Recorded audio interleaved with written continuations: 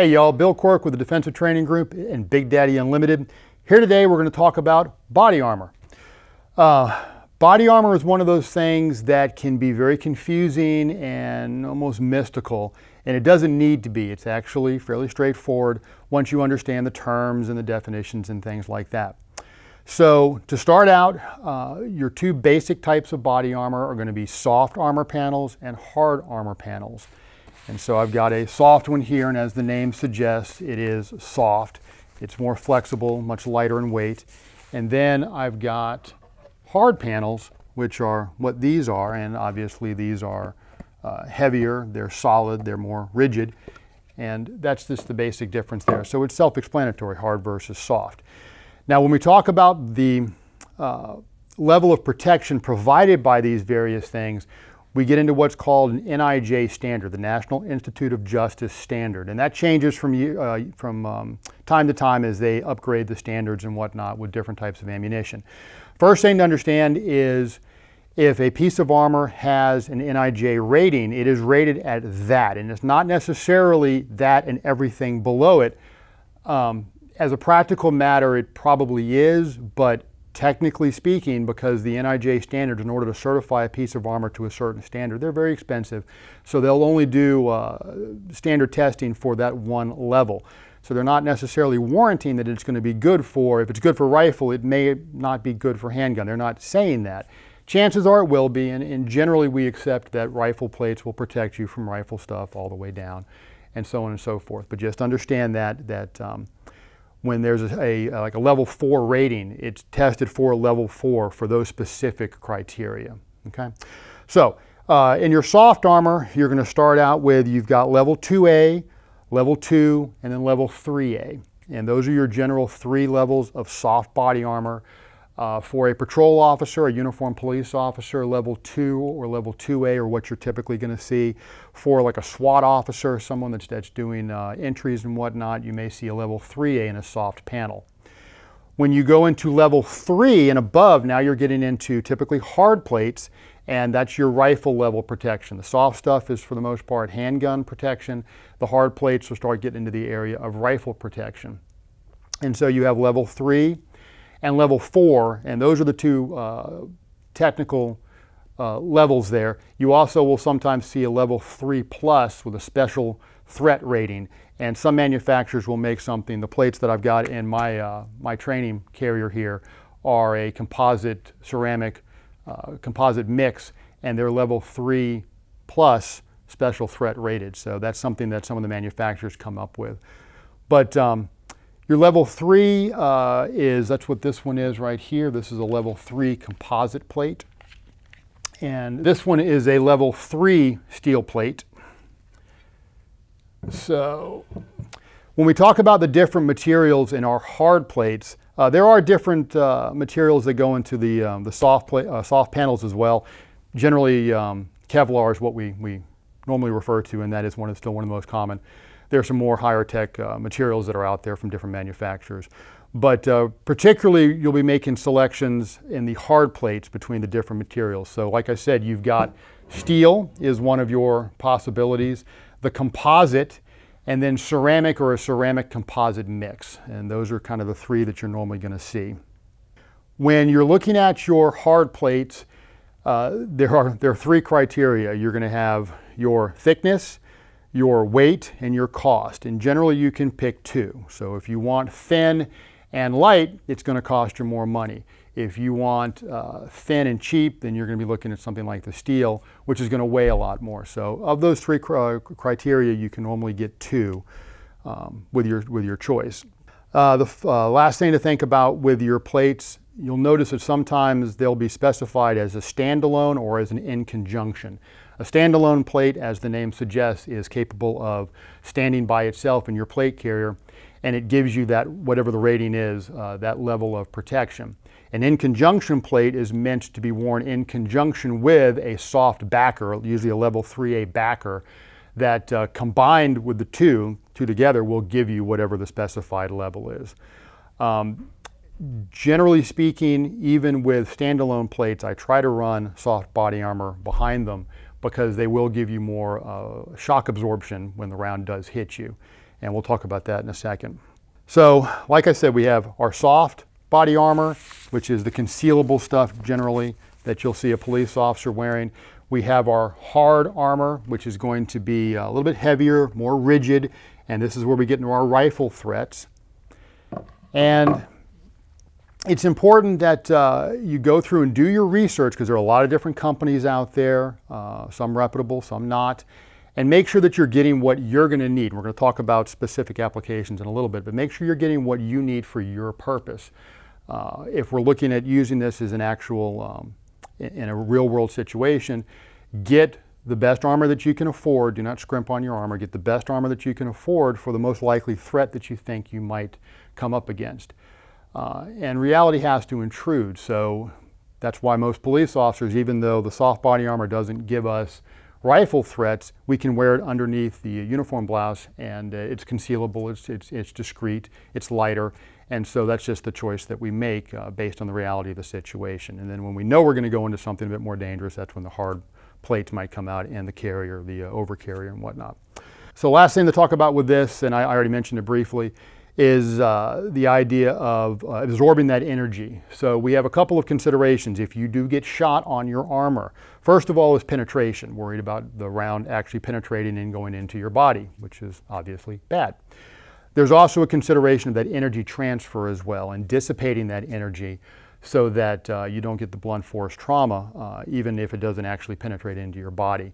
And that's where having the soft armor behind it um, can be beneficial. There's also a consideration of something called spalling, and that's when the round, especially on the steel plates, the round hits and fragments, and now you've got fragments coming up maybe into your face or something along those lines. And so um, you can get, going back to this steel plate, you can get a coating that's added to the plate that will help minimize that effect a little bit. So energy transfer and spalling are some other things to think about, okay? So that gets us through the technology itself, talking about the armor, what the different levels mean, uh, some of the coating considerations and things of that nature.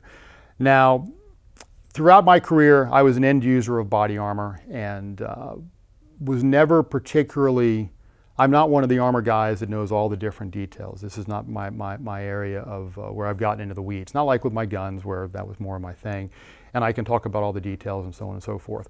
When I went to get my armor, and like I said, this is my current carrier right here. These are level three plus special threat plates, and they're a uh, ceramic composite mix.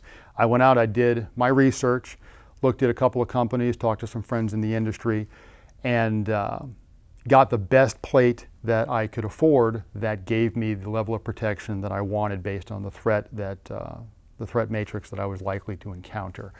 And I did use this a bit towards the end of my career uh, for entries. Mostly it's been a training carrier in, uh, in, uh, in running shoot house classes, teaching shoot house classes, and participating in shoot house classes, that kind of thing.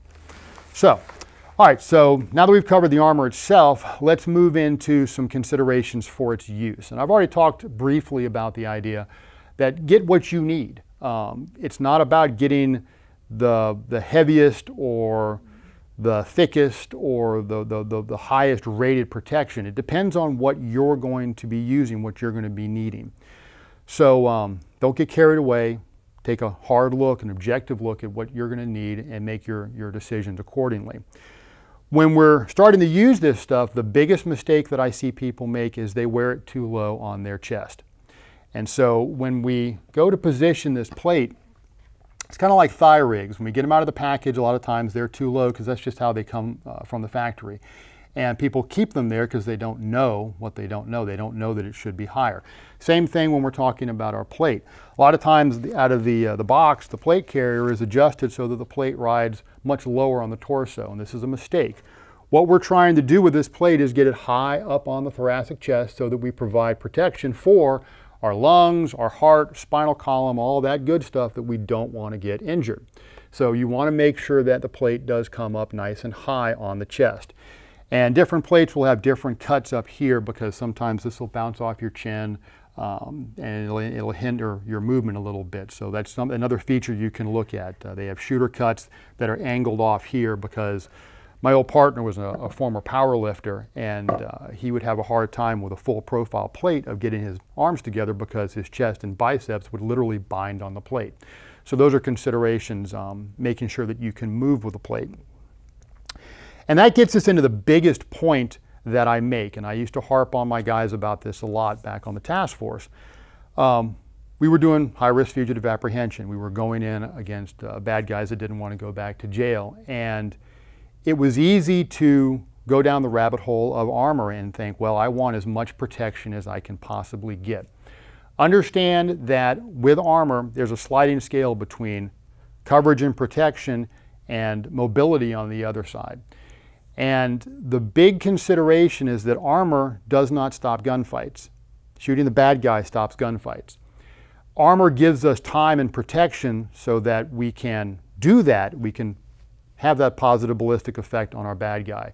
But armor by itself doesn't uh, do anything for us other than provide us that protection. If we just stand there taking rounds, eventually something's going to find its way in and we're going to get hurt. So armor in and of itself does not stop the gunfight. So you want to bear that in mind and not wrap yourself in so much that you lose the ability to fight effectively.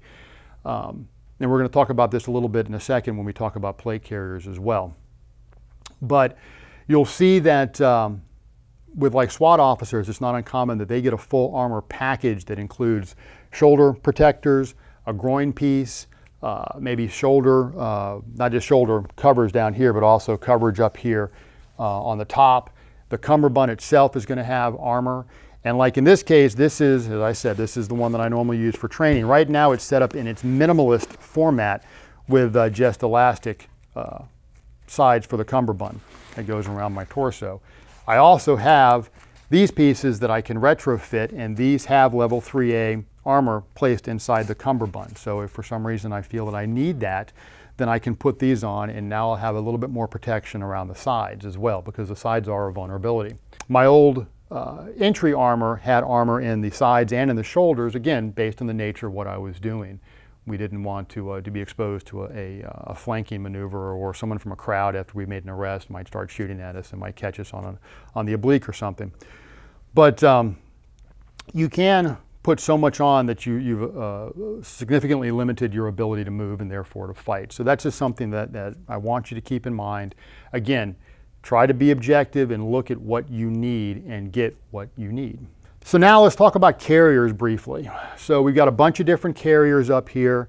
Um, this is another one that I have used. This is one of my more minimalist types.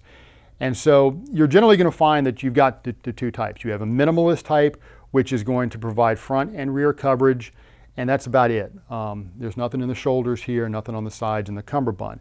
And then you might get something like this that is a more scalable system um, that allows you to have something on the sides, or uh, as I said with my old duty armor, a full system that gives you shoulder protection, side protection, uh, maybe a bit more coverage up in the sides. Depending on the, if you have soft body backers, you can get uh, soft body backers where the wings, because these are sized for the individual, all of these uh, plates um, they come in different sizes and do your research, make sure that you're getting one that's going to be appropriate for your body size. The soft body panels tend to be a bit more custom for the individual and you can get good overlap on the sides that uh, even with your plate carrier underneath will give you some good side protection. As I've said repeatedly, when you're looking at your, uh, your carrier, again, it's important to decide what do I need this for? So if um, I'm going to be doing something where more coverage might be warranted, then go with a more full featured system.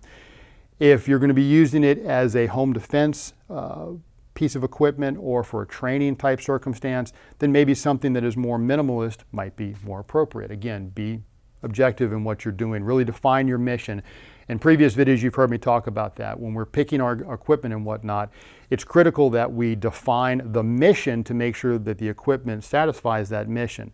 Don't go pick the equipment and then try to make the mission fit it, which you know, is unfortunately something that we do frequently. One more thing talking about these, both of these systems uh, incorporate what's called a placard system, which is something that I've been a big fan of. And what this basically is, is on the front here,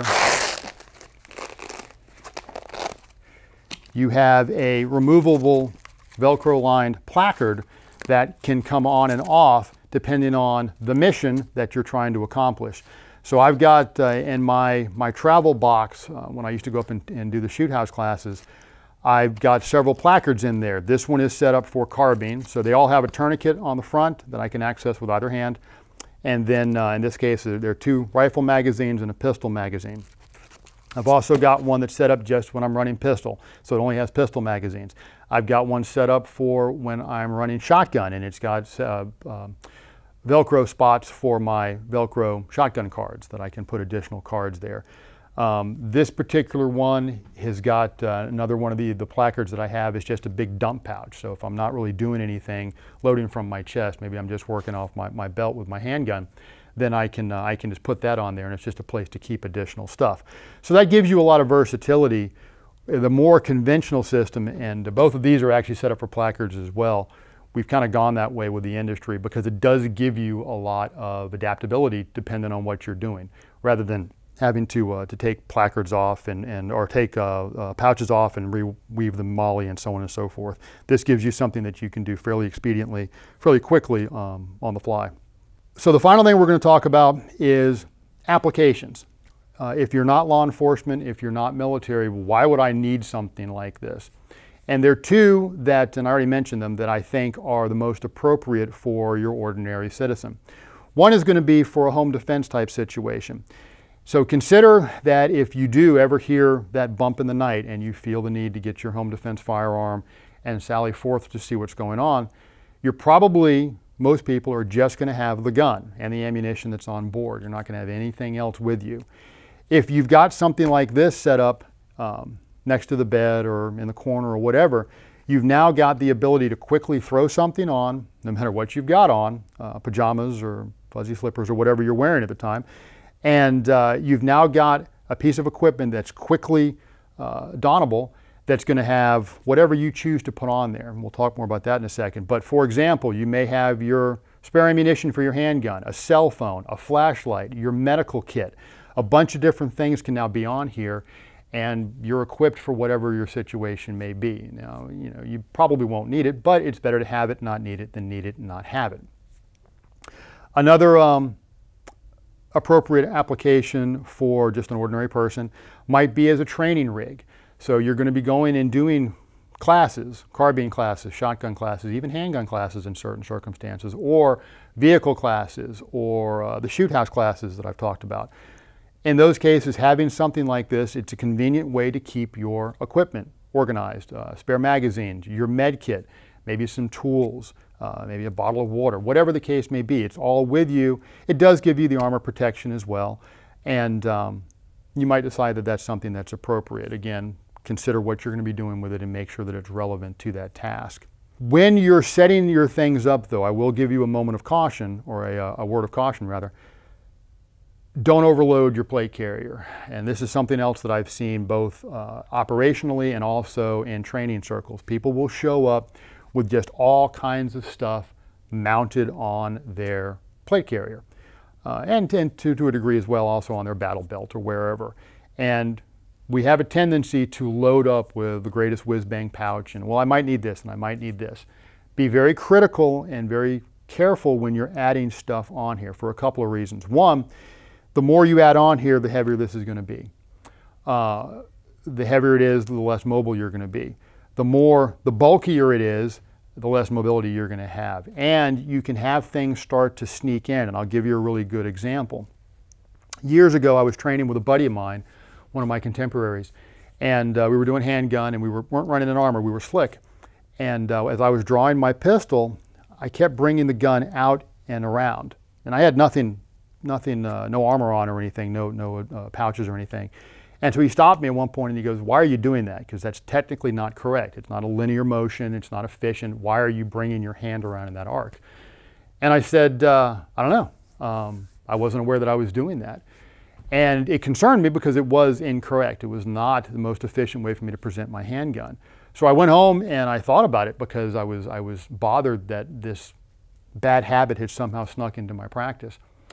And because as you, you've heard me say, it's not practice makes perfect. Practice makes permanent. It's perfect practice makes perfect. Well, this was an example of where some bad practice had snuck in to my regimen. So uh, I started looking at things, trying to figure out what had caused this. And what had happened was I'd gotten the new pouch, and I'd put it on my armor, and it was blocking access to my pistol. So when I drew my pistol, I was having to come around this pouch. And I forget now what the pouch even had in it. It was something, an admin pouch or something, I don't know. But uh, upon realizing that it was causing this negative practice, um, I yanked it off and uh, it gave me a valuable lesson. And from that point going forward, I was very specific when I put anything on my armor to make sure that it did not act or I did not hinder access to my sidearm, my med kit, the important stuff that I had to get to. I couldn't have that buried down somewhere where I wasn't going to be able to get to it. Again, that defeats the purpose. We're so well protected with our armor, but we can't get to our life-saving tools. So be very mindful as you put equipment on here, only put on what you need. Uh, there's a temptation to put different tools and this and that and the other thing. Don't. Leave that back in the range bag. You can go back and get that if you need it. Only put on the armor what you're going to need, what the mission calls for, what the circumstances dictate. So we are going to be uh, selling um, some of these different things out here. There'll be a link in one of the pinned comments below. Uh, the plate carriers will be coming online, uh, not right away, in a, a couple of months probably. As always, give us a like and uh, subscribe. If you have any questions at all, put them down below and stay safe.